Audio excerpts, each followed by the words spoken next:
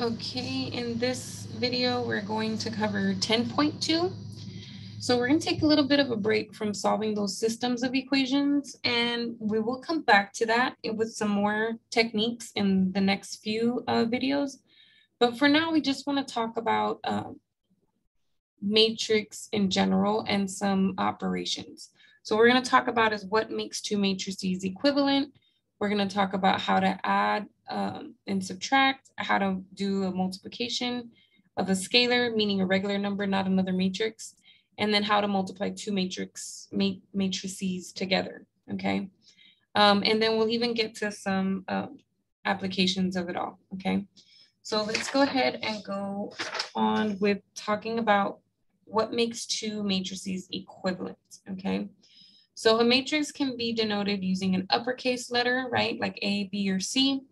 Um, and then a matrix can be a representative element enclosed in brackets, such as, but we don't usually use this one, so I'm gonna cross that out. But anyway, um, a matrix can be denoted by a rectangular array of numbers, such as this, where each numbers, each entry is labeled, right, by its position.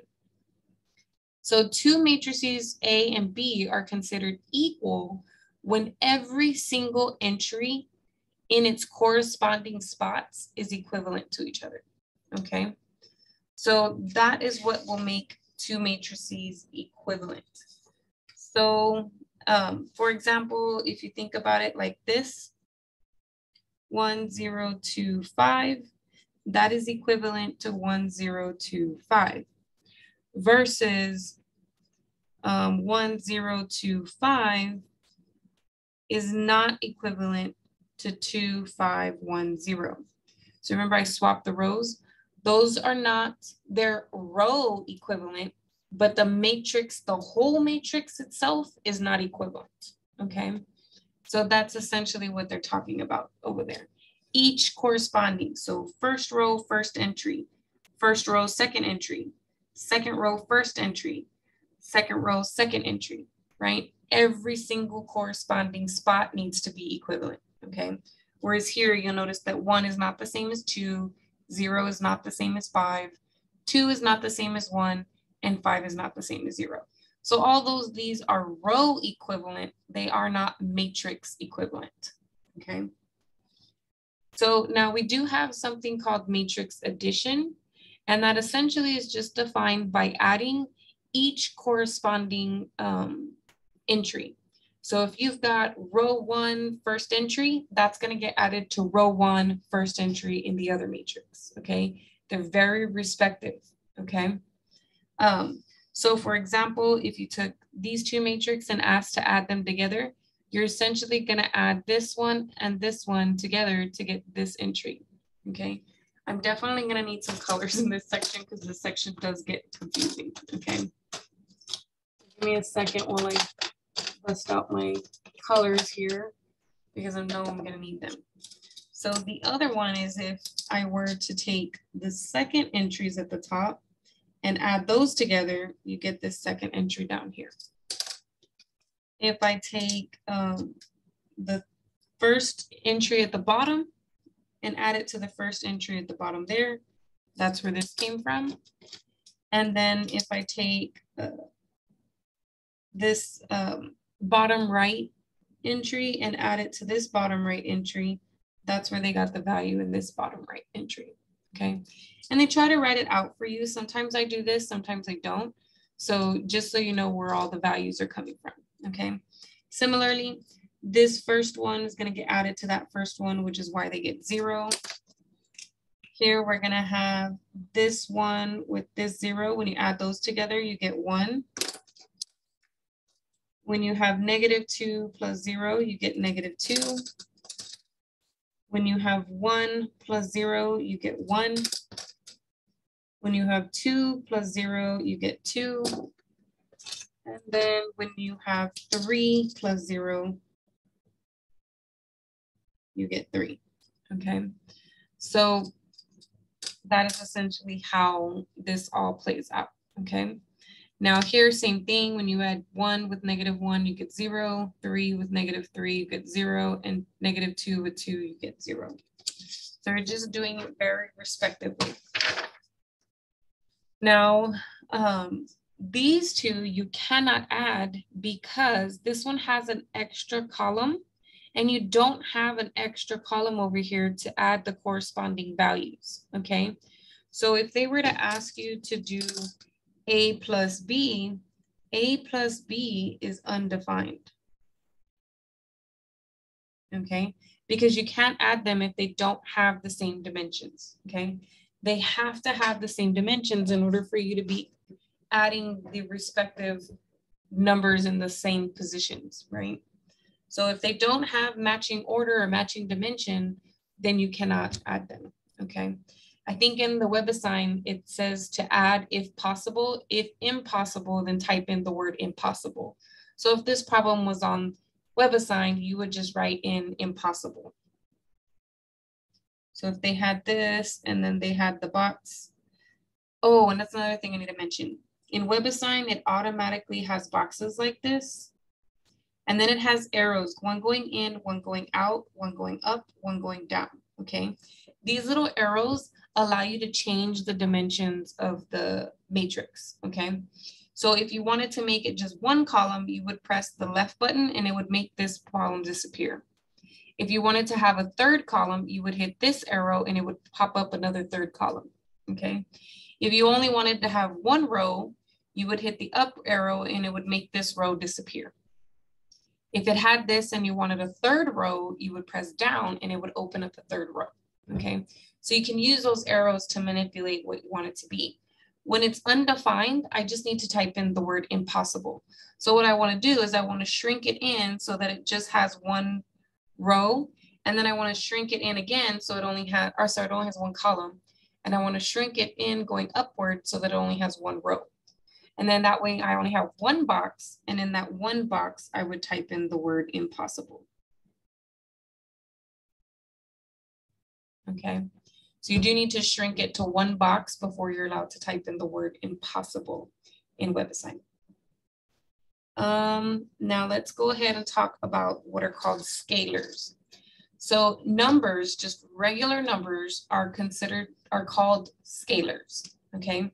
And this word scalars will come important again later when you start to talk about vectors. Okay, and I think they talk about vectors in pre-cal and then they talk about them again in cal 3. So you definitely want to remember that word scalar because it just means a regular normal number, okay? Not a number inside of a matrix, just a regular number, okay? Um, so if you want to do a scalar multiple of a vector, essentially what you're going to do is you're going to multiply every single entry by that scalar. Okay. So I'm sure they have an example on the next page. Um, I'll give you an example if they don't have one. So for example, if I have A equal to 1052, um, and I want to find 2a. That just means I'm going to multiply every single entry by 2. So this will become 2, 0, 10, and 4. Okay. Oh, you can't see. So if this was the matrix that I started off with, and they asked me to find 2a, this is 2a, multiplying every single entry by 2. Okay, that's a scalar multiple. Now, The symbol negative A represents the negation of A, okay? Which basically means you're taking the scalar negative one and you're multiplying it by A, okay? And A and B, if A and B are of the same order, then A minus B is actually the same as adding negative one times B, right? This minus sign can be written as negative one times B. And then it's really just addition that you're working with, okay? And you don't ever have to write this, just understand that that's what is happening behind the scenes, which is what allows us to talk about subtraction, okay? So here's, um, it says it is often convenient to rewrite the scalar multiple C of A by factoring out every entry in the matrix. For instance, in the following example, the scalar 1 half has been factored out of the matrix. So notice that all of them have a two in the denominator. So they thought, let me factor out a one half and I can, but then you're basically dividing this by one half to get one. You're dividing this by one half to get negative three. You're dividing this by one half to get five and this by one half to get one. Okay, so you're taking what you have there, negative three over two, and you're dividing it by what you're trying to factor out, which is one over two. And notice that it does give you negative three. Okay.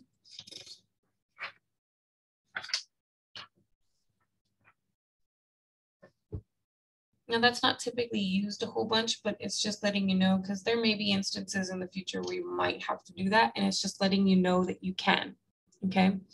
Now, we do have a commutative property of addition. So you can, whether you add A on the left and B on the right, or B on the left and A on the right, that sum should still come out the same. Um, mostly because you're just adding a bunch of entries and it doesn't matter really what order you're, you're adding them in, it will still come out the same. Um, the same with the associative property for matrix addition, right? You could add these two guys together, then add the result to the A, or you could add these two together and add that result to C. You would still end up with the same matrix. You also have the associative property of scalar multiplication. So I could multiply my two scalars first and then multiply all the entries by that value.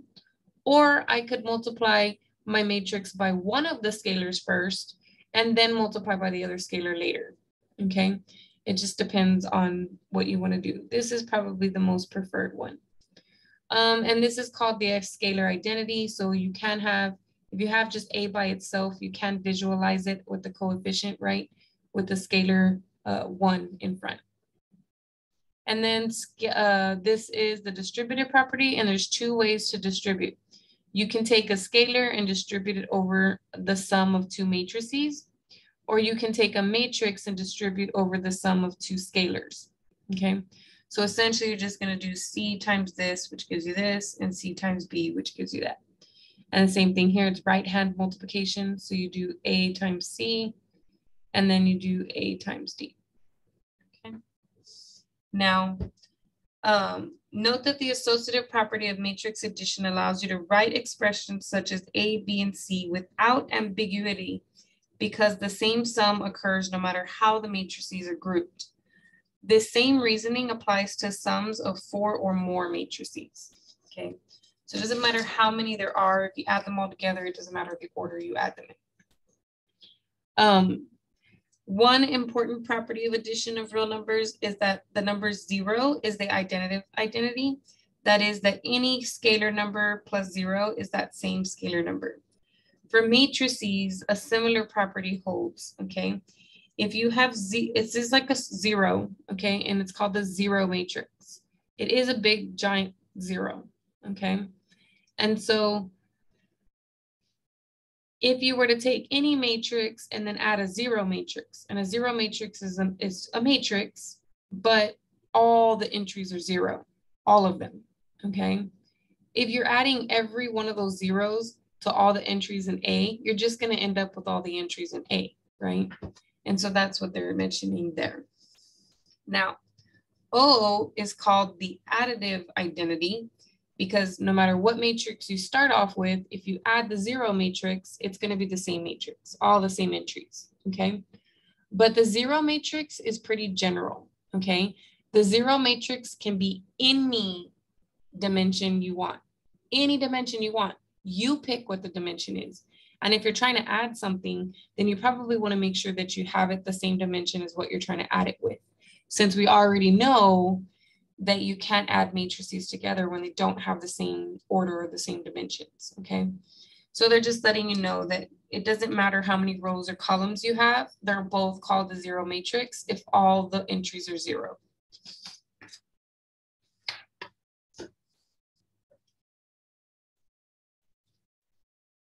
So we do have this. Now, um, we know that when you have real numbers, you can subtract A on both sides, right? But instead of subtracting A on both sides, they write it as plus a negative.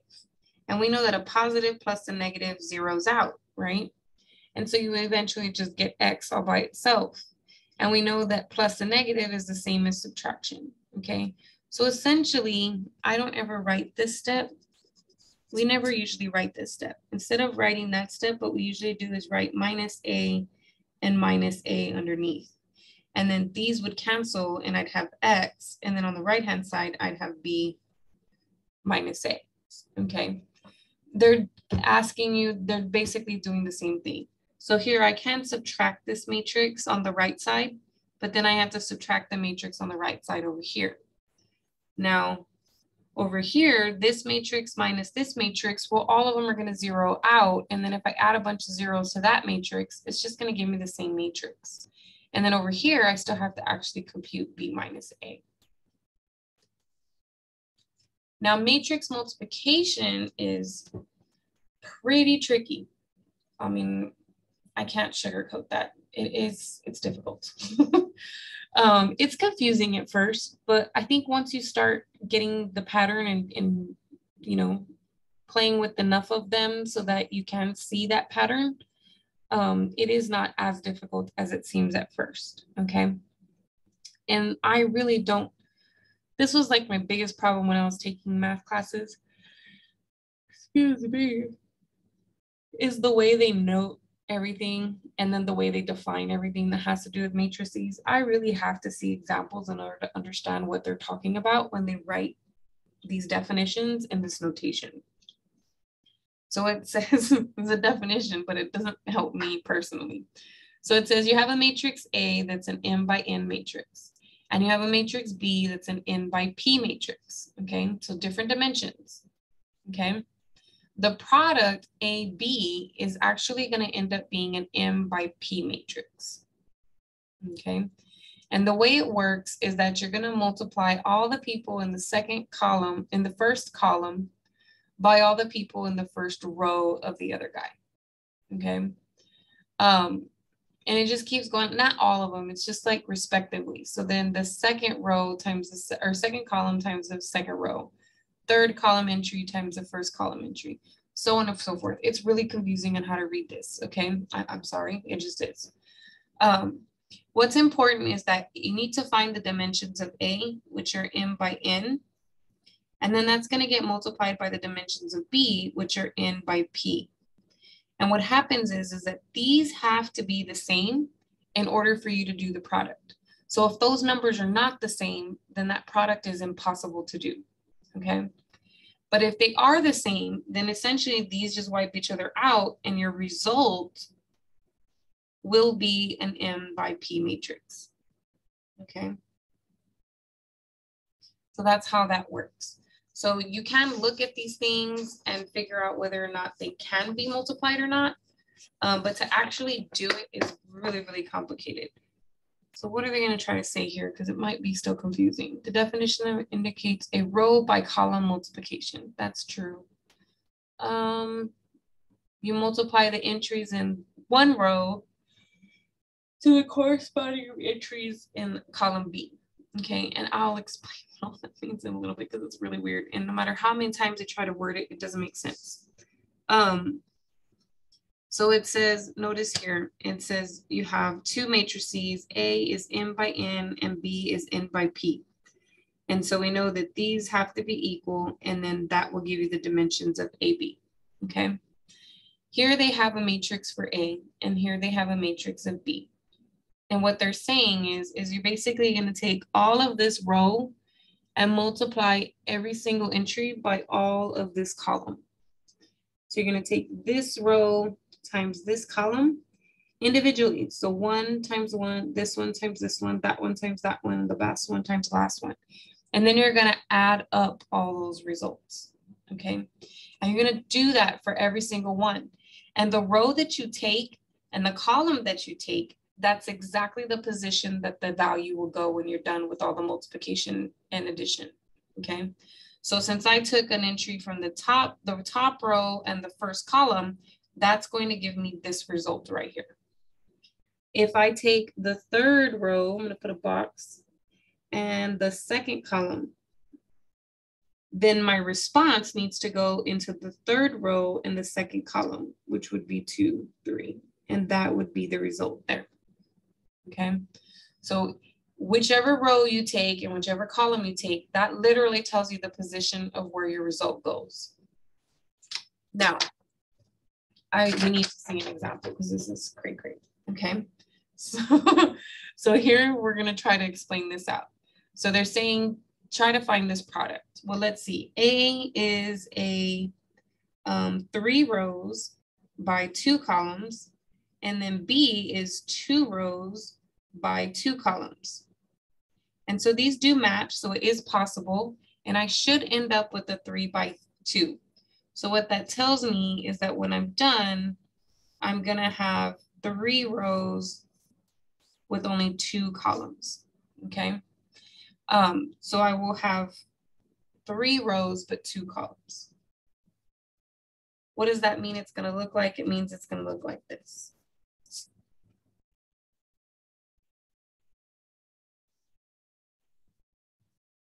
Right, this is three rows, but then only two columns of entries, okay? Now, how do I get what goes into each spot, okay? Notice that this thing is in the first row, the first column, okay? So what you're gonna do is you're gonna take the first row times the first column. Only take rows of the first one and columns of the second one, period, okay? So what do I get? When I do negative one times negative three, I get three. And then when I do three times negative four, I get negative 12. When I combine those two together, I end up with negative nine in there, okay? Now I'm gonna do the second, first row still, so first row still, but now I'm gonna do the second column, okay? So I can get this entry. This is still the first row, but now the second column. So what I'm gonna do is I'm gonna do one times two, negative one times two, which is negative two, three times one, which is a positive three, and I get a one in that entry. Now I'm gonna go on to the second row. So I'm gonna take the second row, and if I want this box, I have to take the first column. So then I have four times negative three, which is negative 12, negative two times negative four, which is positive eight. And so then in here, I get negative four. Now I'm gonna move on to the next letter. So now I'm in the second row still but now I'm in the second column. So four times two is eight. Um, negative two times one is negative two, and that gives me a six here. Now I'm gonna do my third row. So third row times first column to get me this spot. So five times negative three is negative 15. Zero times four is just zero. So this is negative 15. And then finally, I need the bottom row times the second column. So five times two is 10, zero times one is zero, and so I get 10, okay? Now here, they wrote it all out. So not only did they tell you what they were, they didn't just tell you the results like I did, they told you what they were multiplying together. And then those are the results, okay? But notice that they do still end up with the same values as I did negative 9, 1, negative 9, 1, negative 4, 6, negative 4, 6, negative 15, and 10, negative 15, and 10. So just to get each entry, you will already know the, the dimensions just by looking at these dimensions.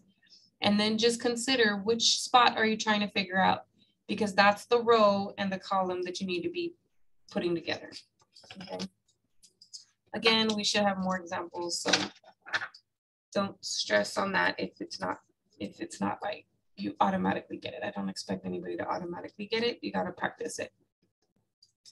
Um, so there is an associative property, but notice that there's no commutative property. Nowhere in there does it say that AB is the same as BA, and it's not, okay? Take for instance, AB. My A matrix was a three by two and my B matrix was a two by two.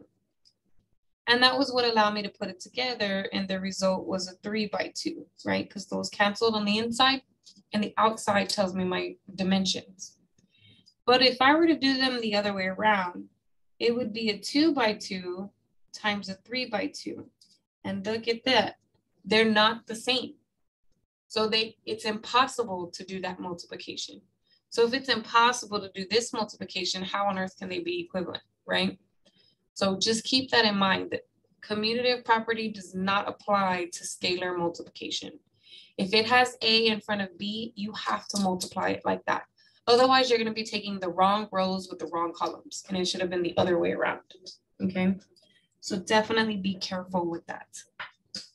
Now, we did talk about that identity matrix in the last video, but it's where you have a matrix and all the diagonals are ones, those leading ones, and everything else is a zero. It's called an identity matrix, and they usually use an I to represent it.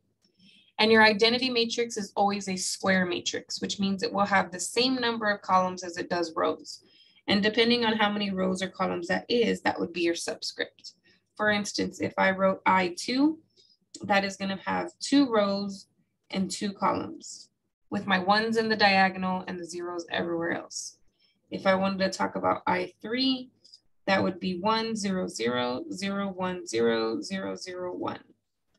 And that's the matrix, the diagonal ones, everybody else zeros, okay? Normally we just write I, we don't never necessarily write the subscripts. The subscripts just tell you the, the dimensions. So just understand that if you were to do the computations for any um, matrix times the identity matrix, it does turn out to be the same thing.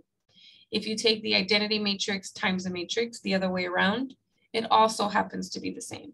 So this is the only case where if you take a matrix times another matrix and the reverse, you do get equivalent. It only works with the identity matrix. It is not guaranteed to work with any other matrices. I mean, it would be really special coincidence if it actually did equal, equal and they weren't, one of them wasn't the identity. Okay. So for some applications here, it says um, matrix multiplication can be used to represent a system of linear equations. Um, note that the system below can be written as the matrix equation A, matrix A times matrix X equal to matrix B. So essentially what they've done is they've taken the coefficient matrix, which we talked about in the last section, okay? Then they multiply that by the variable matrix, which is just your variables in order. And then that equals your constant matrix.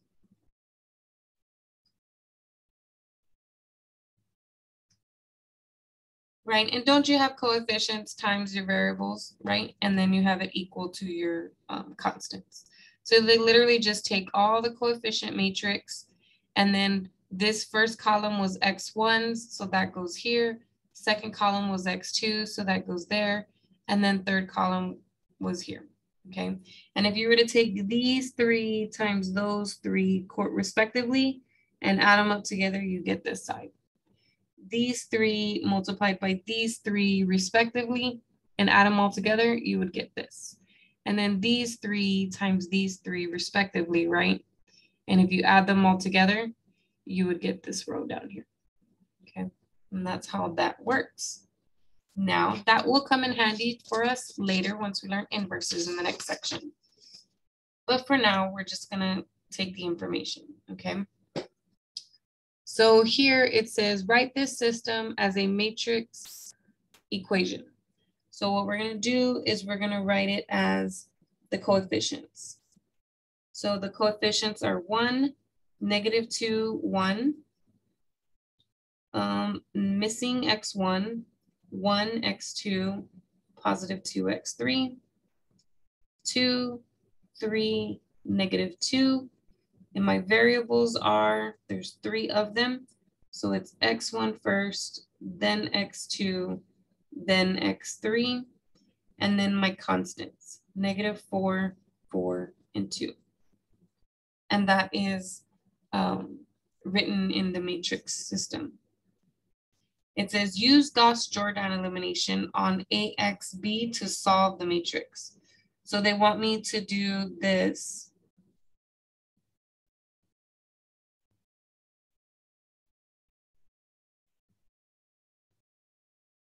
Oops, I need to put the bar. See, notice there they put the bar instead of the dots. I don't know why they keep going back and forth between those, but whatever. So if I use Gauss Jordan, this is already a one, this is already zero, and make that one a zero. So I'm gonna do negative two row one plus row three to give me my new row three. So then that would be negative two, four, negative two, positive eight, two, three, negative two, two, zero, seven, negative four, 10. So then I have one, negative two, one, negative four, zero, one, two, four, two, three, negative two, two. Now I do have the one in the next diagonal position, so I'm gonna use it to turn these to zeros. So I need a positive two times row two plus that row one, so I can replace that row one. Then here I need a negative three, row two, plus this row three, so I can replace that row three. So let's see, row two times two is zero, two, four, eight. Row one, I get one, zero, five, four. And over here, negative three. So zero, negative three, negative six, negative 12. Two. Oh, I messed up. I should have put, I should have replaced my row three and I forgot to replace my row three. Glad I caught it now before I finished and kept going. So this should have been zero, negative four, 10. Oops, zero, seven, negative four, 10. There we go. And so it actually wasn't a three, it should have been a seven. So it actually should have been multiplying by a negative seven. So that I can replace this seven with a zero. So this times negative seven, this times negative seven, that guy and that guy. And then row three underneath. So I get zero, zero, negative 18, negative 18. And so then my matrix becomes uh, row one becomes this, Row two is never getting replaced, so that one stays the same. And row three has now become this. Okay. Now what I'm gonna do is I wanna change this guy into a one. So I'm gonna multiply by the reciprocal. So one over negative 18 times row three to get me my new row three. So I can use that one later to change these to a zero. So let's see what we're going to end up with. We're going to get um, row one and row two are going to stay the same.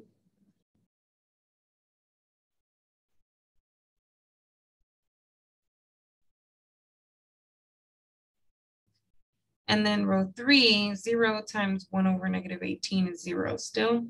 I get one and one. And so that's what I have. Now I need to use this one to change these to zero. So for this one, I need a negative five times row three plus that row one to give me my new row one. So this can turn to a zero.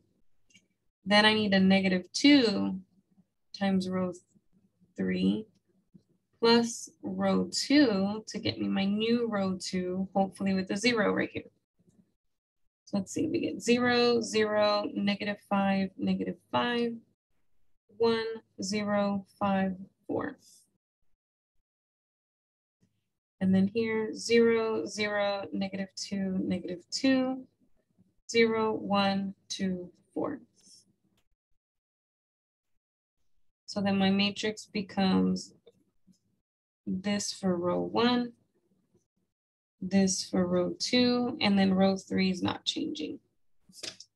So what does this tell me? It tells me x equals negative one, y equals 2, and z equals 1. So my solution point is negative one, two, one. And that is it for this problem. Now we can go ahead and, um, and if it asks you for the matrix solution, it's just like this. X1 will equal X1 equals this guy, X2 equals this guy, and X3 equals that one. So same thing as before. Now, here's some practice problems like what you will see in um, the WebAssign. So we only have, I think, three practice problems. So we're gonna take a look at these and then we'll go from there, okay? So for this one, it wants me to do all the sums. These are both two by two matrices. So I should be able to do any of the additions and subtractions because they do have to be the same dimension in order for me to add and subtract. And they are, so I should be able to do this. So for A, I'm basically gonna add each entry. So two plus negative one is equal to one. Negative one plus negative one is negative two. Negative one plus one is zero. One plus seven is eight. Now for per B, it says to do A minus B. So two take away negative one is actually two plus one, which becomes three. Negative one take away negative one is negative one plus one, which is zero. Negative one take away one is negative two, and then one take away seven is negative six. Now 2a means I'm gonna multiply every entry in a times two. So this will become four, negative two, negative two, and two. And then D is a little bit more complicated. So I might have to work D out and then write the answer. So for D, it wants me to do 2A minus 5B, okay? So what I'm gonna do is I'm gonna do two times A minus five times B for the first entry. Um, two times negative one plus minus five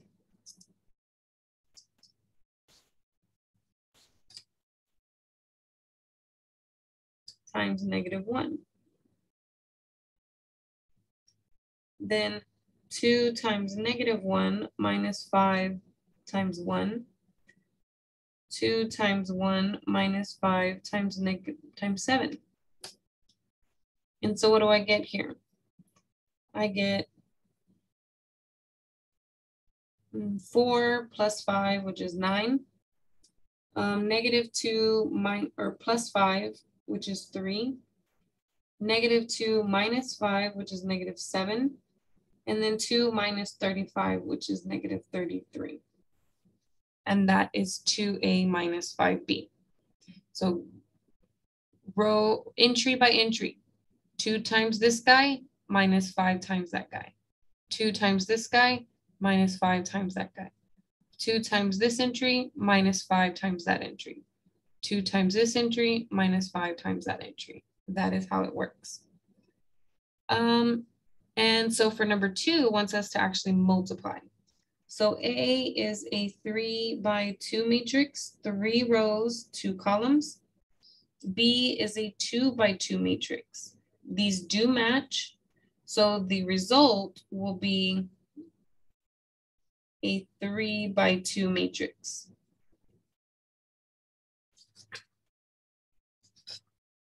Okay, so then let's see what that three by two matrix is gonna look like. Three rows and two columns. Okay, so I like to use my colors instead of writing everything down. I like to use my colors. So for this first spot, it's the top row, first column. So that means I need to take this top row and this first column. And so that's gonna be First one and first one is going to be negative 2. And then 8 times 0 is just 0. So what do I get in that first entry? Just negative 2. Okay. Now I'm to move on to the next one. So now I'm going to move on to uh, the second entry. Remember, there's three rows and two columns. So I'm gonna take that first row again, but times the second column. So first ones together, that gives me negative three. Second ones together, that gives me positive 48. So I actually end up with a 45 here. Now we're moving on to the next row, okay? So I'm going to take the second row times the first column. First guys multiplied together, and then second guys multiplied together. That gives me negative six. Now we're gonna take the second row again, but times the second column. So the first guys multiplied together, and then the second guys multiplied together, and it's a positive. So I end up with, I think it's 27, negative 9 plus 36. Yes, 27. Okay, now we're going to move on to the bottom row and first column. So the first guys multiplied together plus the second guys multiplied together. Actually, 0 times 2 is 0, isn't it?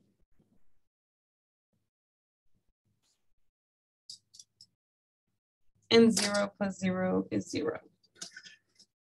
And then lastly, um, I'm gonna use red. I don't have red. So I'm gonna do the bottom row times the second column. So the first guys together is zero, and then three times six is 18. So I actually end up with 18 here. So again, I like to use colors just so that I can symbolize each row and each um, thing. If you don't use colors, just keep in track which row and which column you've been using throughout the whole process. And you, that way you put the numbers in the right positions. Okay. Okay, last one. It's also asking me to find the product. Um, this matrix is a three row by two columns. This matrix is a three row by three columns. Notice that these are not the same, okay? When those two are not the same, the multiplication is impossible. So make sure you get one box only by using your arrows left, right, up, down to get one box only. And in that box, you would just type in impossible. And that's the answer there. There's nothing to do because you can't do it. They don't have the correct dimensions. Okay. But that is it. Definitely practice the multiplication. That one does take a bit to get. The addition and subtraction is not too bad because it's just entry by entry, right? But with the multiplication, that one can be tricky. I really prefer to use colors. You may have to keep watching that part of the video over again um, until it starts to, you start to see that pattern, okay? Um, but once you get that down, then, then you'll be fine with your matrix multiplication. And other than trying to complete the homework assignment and trying to um, work on the problems that you see in the review, the matrix multiplication won't come up a whole bunch in the future, but it, it could come up in certain places in the engineering field, okay? So that is it for this section. I know it's probably a little lengthy, but it's all covered. I tried to explain it all, use some colors, I wish you the best. Um, and in the next section, we'll actually get into a new concept for matrices called um, inverses, okay? And those will actually help us to solve some systems without having to do that Gauss-Jordan elimination, okay? So that is it. You guys have a great day.